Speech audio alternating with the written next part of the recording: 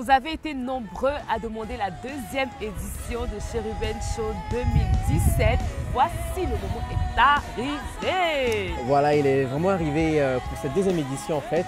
Nous avons un beau mariage à vous annoncer. En fait, ça sera le mariage entre l'Afrique de l'Ouest et l'Afrique centrale. Et plus précisément, en fait, euh, la Côte d'Ivoire et le, Congo. Effectivement, donc en fait, c'est euh, un privilège pour nous de pouvoir euh, valoriser le gospel avec ces deux cultures qui sont vraiment très similaires. Euh, ce qui a comme point commun en fait entre les deux, c'est que ce sont des nations qui aiment le gospel, ils vivent la culture du gospel, ils respirent l'évangile et ce sont des personnes qui, lorsqu'elles chantent, lorsqu'elles adorent, lorsqu'elles louent, c'est vraiment contagieux.